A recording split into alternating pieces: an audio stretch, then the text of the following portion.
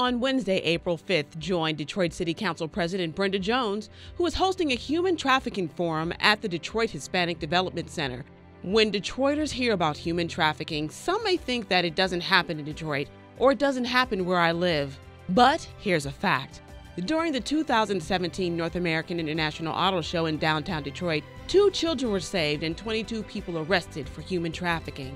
We invite all Detroit residents to join us April 5th, 6 p.m. at the Detroit Hispanic Development Center, 1211 Trumbull, Detroit, Michigan 48216. Please come out and get the facts on human trafficking in Detroit and talk to the experienced experts. Get informed to protect your families and learn how to help others that could become victims of this growing epidemic.